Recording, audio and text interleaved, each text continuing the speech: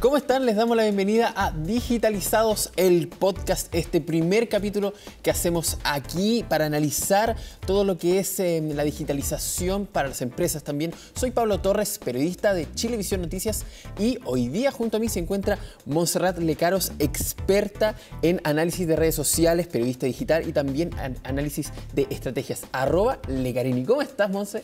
Bien, gracias Pablo por esa presentación. Siempre, siempre da un poquito de pudor todas las credenciales, pero la verdad que por eso estamos acá. Em, como contabas tú, o sea, esta temporada se viene muy buena, va a tener importantes invitados, em, vamos a contar la historia y, cómo distintos factores influyen en tu negocio, eh, saber si efectivamente eh, ellos tienen la tecnología suficiente o si de verdad efectivamente necesitan nuestra asesoría, porque en verdad es importante tener un buen marketing digital en nuestra empresa y sin duda con esa patita desarrollada salir adelante. Sí, vamos a ir a estar hablando del marketing digital. También les vamos a contar de la importancia de mantener, por ejemplo, un sitio web, em, de la comunicación en redes sociales. Hay muchas cosas que analizar. Esto es muy parecido a, por ejemplo, cómo mantener un perfil eh, de, influencer también. Así que para que la gente se vaya normalizando con, estos, con estas temáticas. Cosas básicas también que nos van a ayudar a mantener nuestra pyme en números azules en la era de la digitalización. Pero primero, Monse, quería partir con em, el marketing digital. Si nos puedes contar específicamente qué es esto del marketing digital, sobre todo en el enfoque para las empresas? Mira, en resumidas cuentas, este es, una, es un sistema que, la verdad se modernizó ante el típico marketing, la difusión de, de, las distintas herramientas que nosotros usábamos para que nuestros negocios salieran adelante.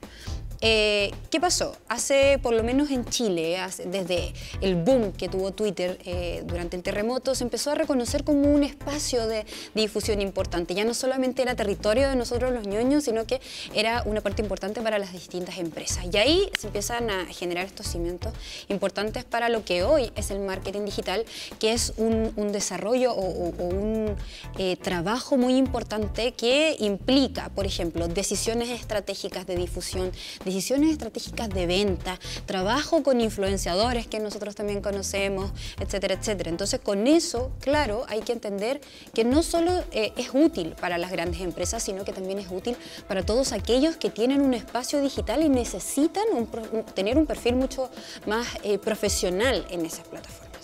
Perfecto. También es importante saber otras cosas, por ejemplo, los errores en sitios web, porque es importante también eh, construir un sitio web amigable, pero que también nos muestre, por ejemplo, eh, en los buscadores, ¿o no? Sí, eso es posicionamiento. O sea, hay que, primero hay que hacer un barrido general y, no solo eh, tenerle miedo. Mucha gente le tiene miedo a esto de digitalizarse, ¿cachai? Y aquí es donde nosotros cumplimos el rol súper importante.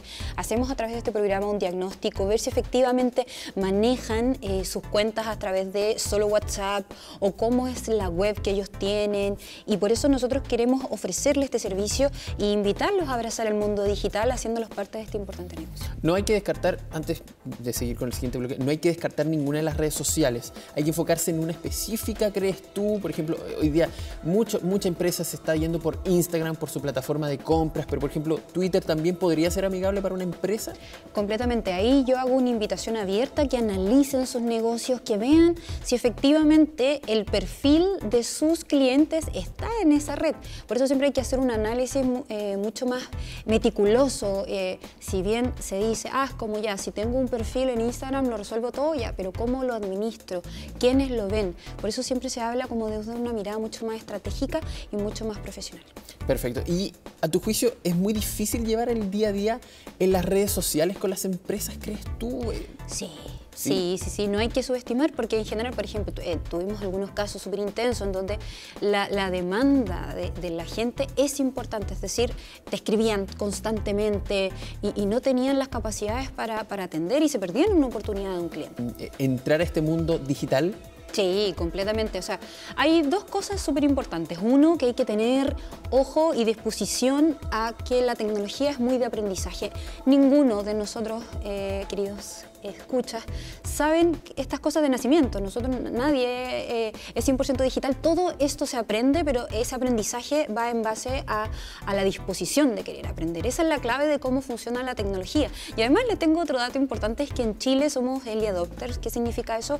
Que somos en general en el Cono Sur los primeros que adoptamos la tecnología eh, de una manera muy rápida, le sacamos provecho y, y la verdad que esto se demuestra en la necesidad que tiene el mundo del emprendimiento también de subirse a la ola con tanta facilidad.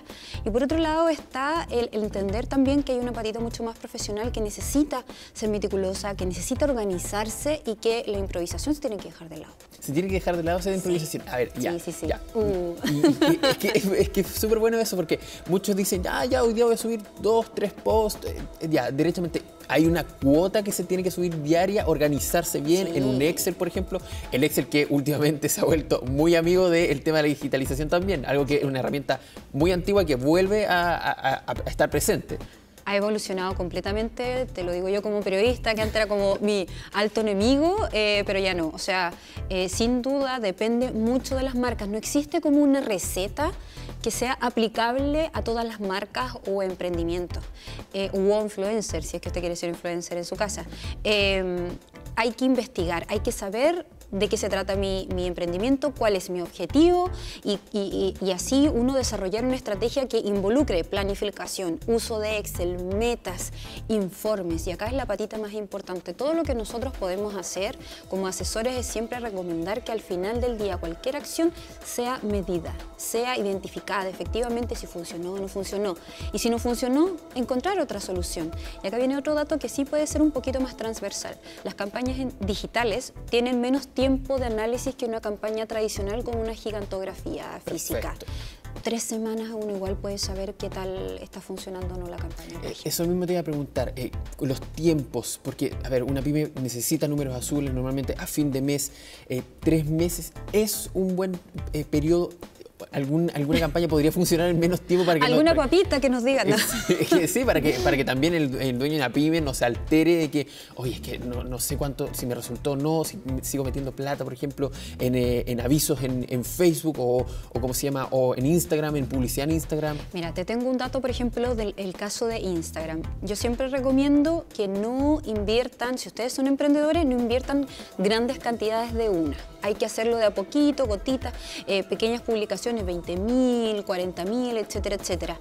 Eh, hay esas opciones dentro de Instagram y yo creo que lo más importante es ir observando ese comportamiento. Ahora, los resultados, si el objetivo es crecer, tiene que haber una campaña de inversión directamente en crecer, ¿cachai? Eh, Instagram no tiene esa opción directamente, pero sí lo puedes hacer a través de tus publicaciones porque le das más visibilidad. Pero en español hay que ser paciente. Eh, hay que organizarse y hay que ir monitoreando. Yo de verdad, sin duda, cuando alguien me dice, Monse, es necesario contratar un CM, es necesario contratar, contratar un servicio externo, como en el caso de digitalizado, sí, porque todo eso te ayuda a dar una perspectiva mucho más grande y a ti dejarte enfocar en tu negocio. Perfecto. Ahí el crecimiento también es lento, obviamente, pero de a poco se va a ir dando para eh, ir sumando estas herramientas para que las personas también vayan eh, creando una cultura digital dentro de su, de su pyme que es totalmente necesaria. Ojo, también WhatsApp es importante. Lo hemos visto, por ejemplo, aquí, aquí como cliente, uno se relaciona con las empresas con WhatsApp. Ahí eh, hay un sistema especial para que las empresas puedan adoptar un perfil de empresa dentro de WhatsApp y tengan más, mayores herramientas, ¿o no? Sí, o sea, es un tema más de uso de, aplicaciones. Eh, WhatsApp es súper importante en Chile.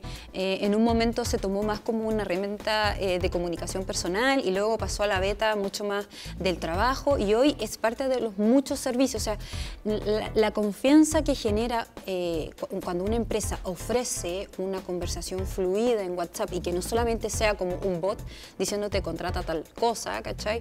es una oportunidad completa de apoyo y de fidelización. Perfecto. Ahí está todos los consejos. No diga que aquí en el podcast Digitalizados no tienen los mejores consejos para eh, apoyar su pyme, sobre todo en la era de la digitalización.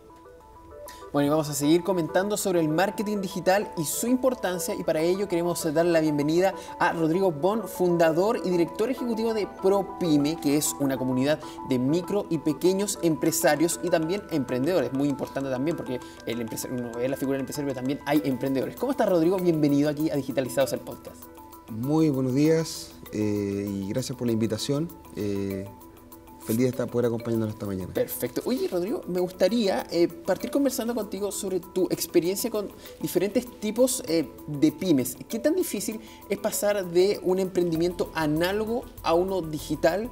Sobre todo, y ahí también te voy a hacer el paréntesis, sobre todo para una persona que tal vez eh, venga con un conocimiento muy análogo y tiene que pasar obligadamente al digital, porque la era también lo está obligando. Bueno, sin duda hay un tema relacionado con la edad. Ahí eh, nuestra, nosotros contamos con aproximadamente 85 mil micro y pequeños empresarios eh, en nuestra comunidad empresarial y lógicamente el promedio eh, de edad está por sobre los 45 años, que son empresarios y empresarias que se han visto ah, enfrentados a esta nueva realidad del cómo hacer empresa, del cómo hacer negocio y con lógicamente un fuerte acento en lo que tiene que ver con, con las nuevas tecnologías, el ámbito de la digitalización para poder vender más, que ha sido el gran desafío que han tenido las MIPIMES durante esta pandemia. ¿Cuál es la inversión o el capital que se necesita o que se debería manejar eh, para una microempresa contar con un sitio web o, redes sociales? Yo sé que son varios presupuestos, pero... Sí, bueno, eh, lo, mm, lo, que pasa es que hay que separar un poco. Uno realmente uno habla de las pymes, de los emprendedores.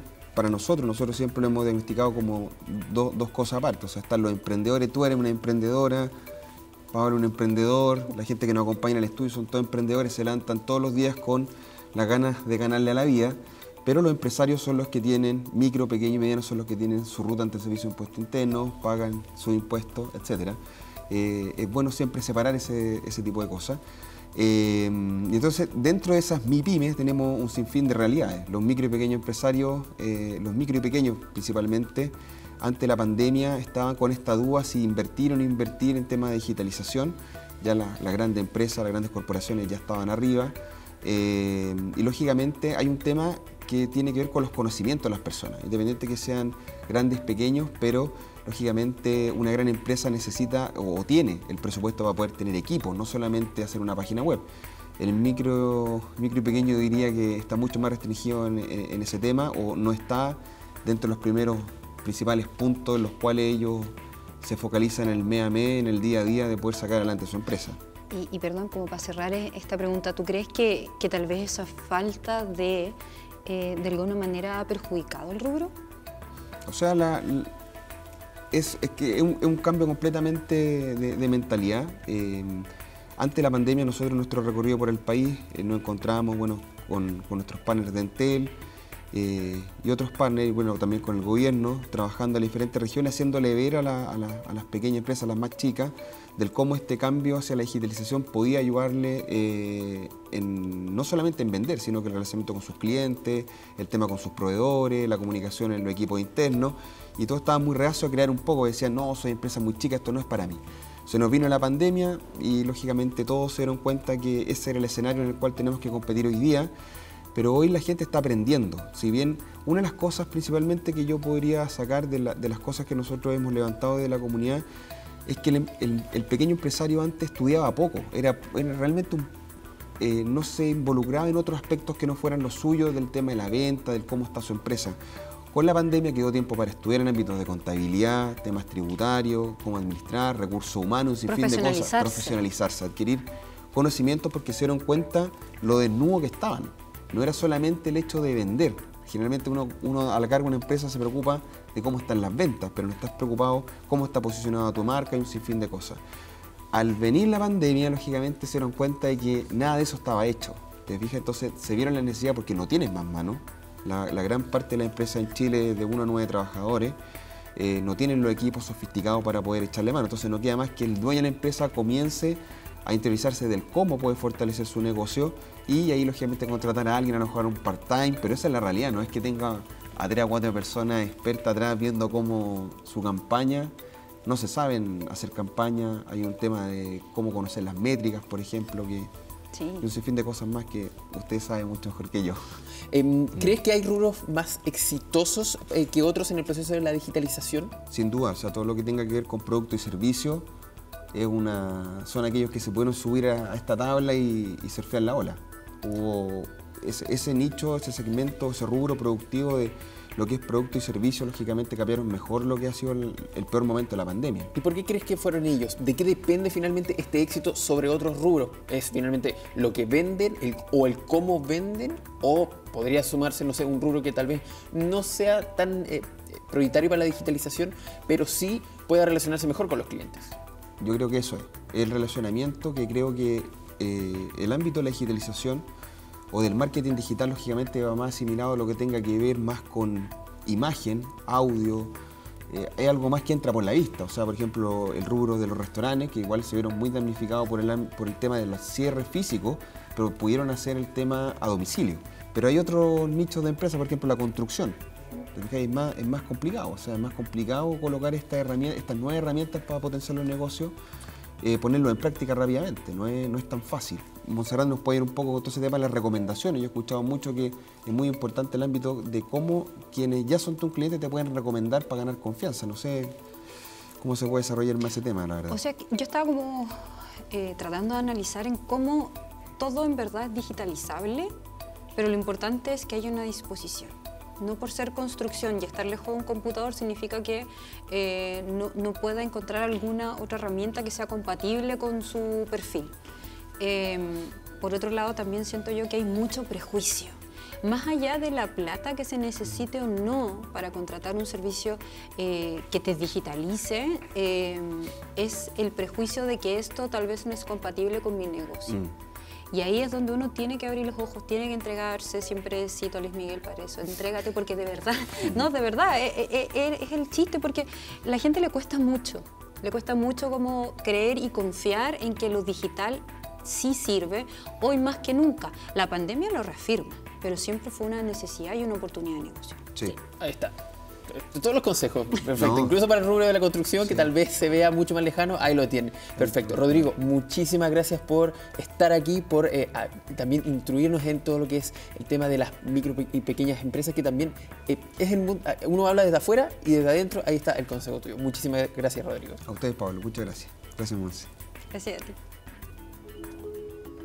Seguimos aquí en Digitalizados, el podcast hablando de marketing digital y para continuar con este tema le damos la bienvenida a Ricardo Artés, analista senior de marketing digital de Entel Empresas. Bienvenido Ricardo, ¿cómo estás? Muchas gracias, muy bien aquí con harto entusiasmo también para comenzar este podcast de marketing digital. Ese es el espíritu, harto entusiasmo. Oye, Digitalizados es un proyecto de Entel que ya lleva cuatro años ayudando a diferentes pymes. Eh, ¿Nos puedes explicar un poco en qué consiste esta ayuda que ustedes entregan? Sí, mira, Digitalizados es un proyecto de Empresas que parte hace cuatro años y parte como un proyecto básicamente para redes sociales. ¿ya? Parte como un docu-reality, pero siempre desde el ambiente digital de redes sociales que a medida de los años obviamente va creciendo y hoy en día ya lo tenemos en televisión abierta. Eh, el fin de digitalizado básicamente es poder acercar la digitalización a los pequeños negocios, a la microempresa, a la pequeña empresa, a los cuales tú le hablas por lo general de digitalización y se sorprenden porque piensan que no es para ellos. Ellos piensan que la digitalización es para grandes negocios, para Falabella, para Amazon, ¿verdad? Y no saben que la digitalización está más cerca de ellos de lo que realmente piensan. Entonces nuestra misión con Digitalizado es poder, por medio de este docu-reality, poder mostrarles eh, qué tan cerca están de la digitalización y cuál es el verdadero aporte eh, de la digitalización para ellos como microempresas o incluso como emprendedores. Oye Ricardo, y, con toda esta experiencia en estos ya cuatro años, ¿cuáles han sido los resultados eh, que tú has visto como tal vez más destacables en, en ayuda a estas empresas? Eh, mira, puedes comentar casi casos de éxito, perdón, esa era la Sí, mira, eh, la verdad que hemos tenido súper buena llegada con las pymes, con este proyecto. Eh, constantemente cuando tenemos eh, los castings masivos, tenemos miles y miles de inscripciones y, y, hay un verdadero interés de las pymes para participar y para poder digitalizarse. O sea, tienen esa intención de romper la barrera tradicional del dejar de lado la zona de confort para poder eh, realmente avanzar y digitalizarse.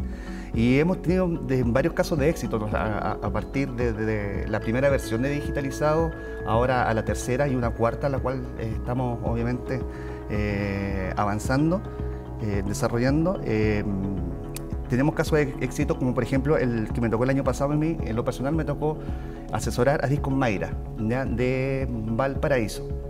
Ellos son una, una, pareja de personas de la tercera edad que tienen una disquería muy clásica, tipo recordar como lo que era la feria del disco. Ellos venden vinilo y no tenían venta por internet y todo el tema del estallido social, la pandemia les afectó porque no tenían venta digital. Y hasta el día de hoy ellos ya venden digitalmente, por ejemplo, y venden no solamente digitalmente, sino que venden para todo Chile. Entonces tenemos varios casos así, donde realmente eh, entraron a digitalizado comenzaron eh, desde cero y hoy en día ya están vendiendo incluso de forma digital o contestando por redes sociales o tienen su propia página web hoy en día para poder vender sus productos. Y eso obviamente nos alegra porque los vimos nacer y, los vimos digitalizarse desde el primer minuto.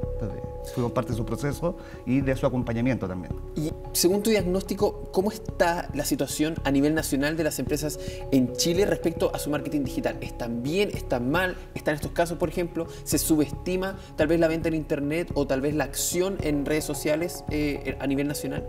A nivel nacional yo creo que hay harto que hacer todavía en cuanto a tema de digitalización. ¿ya? lo que fue el estallido social, lo que fue el tema de la pandemia fue un empujón o un portazo incluso para muchas de las pymes para poder eh, digitalizarse sí o sí. Por lo tanto, se tenían que reinventar y necesitaban en el fondo alguien también que los acompañara y los pudiera asesorar en esta nueva etapa y en este nuevo mundo que es la digitalización. Y ahí es donde nosotros entramos a jugar un papel fundamental como ante la empresa para poder ayudar a las pymes, eh, acompañarlas y asesorarlas en su proceso de transformación digital. Eh, tenemos una plataforma completa de un LMS, eh, como para, hablar más en simple, un LMS es una plataforma de aprendizaje. Sí, hay gente que no entiende claro, Es una plataforma, un sitio web básicamente muy similar a cuando uno realiza cursos online o certificaciones online, donde hoy en día podrán entrar en www entel.cl slash digitalizado y podrán eh, perfilarse también para saber cuáles son eh, los pilares que están más débiles en cuanto a digitalización y también ahí mismo, en esa misma plataforma, en esa misma URL, le ofrecemos cursos de capacitación para que ellos puedan eh, estudiar, ¿verdad? Puedan certificarse incluso en algunos tipos de conocimiento y de materia y así lo puedan aplicar también en las distintas áreas de, su negocio. Cuéntanos un poco más para las personas que tal vez eh, no estén enteradas de cómo funciona también esto de la, de la certificación en la era de la digitalización. Claro, como les comentaba, eh, dentro de lo que es Digitalizados 4 eh, que tenemos hoy en día, tenemos esta plataforma ¿verdad? de educación para que la gente se pueda, se pueda educar, ¿verdad? pueda estudiar con respecto a, la transformación digital, pero no solamente estudiar, sino que también les da la posibilidad de que si le ponen empeño ¿verdad? a la metodología de estudio, también se puedan certificar.